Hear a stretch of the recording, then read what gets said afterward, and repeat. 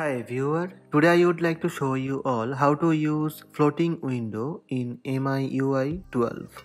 Floating window is a feature that allows certain apps floating anywhere on your home screen. So you can easily check updates and reply to messages while you are doing another work. Let's check how to use floating window in Redmi Note 9 Pro. This is Redmi Note 9 Pro and its version MIUI 12. The first method is using recent menu. From Redmi home screen, tap recent button on bottom left. From top left, tap floating windows. Tap to open a floating window. From here, you can select the app to open as floating window. Tap more button and you can add more apps for floating window. Tap plus button and tap done. I would like to open Twitter as a floating window. Tap Twitter this is the floating window in MIUI 12. You can set your floating window anywhere on your home screen.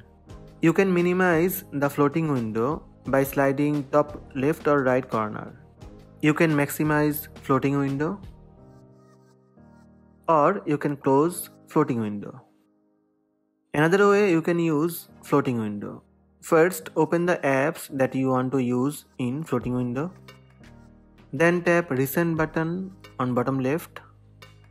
Press and hold on the app that you would like to use as floating window. Now tap picture in picture icon.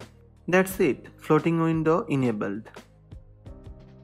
You can use floating window using control center. First, open the app that you want to use as floating window. Swipe down from top to get notification shade. Slide and tap floating window.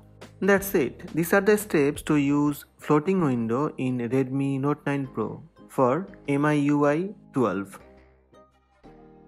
Hope this video help you. Please subscribe my channel by tap subscribe button. Also tap the bell icon to receive notifications about all new videos.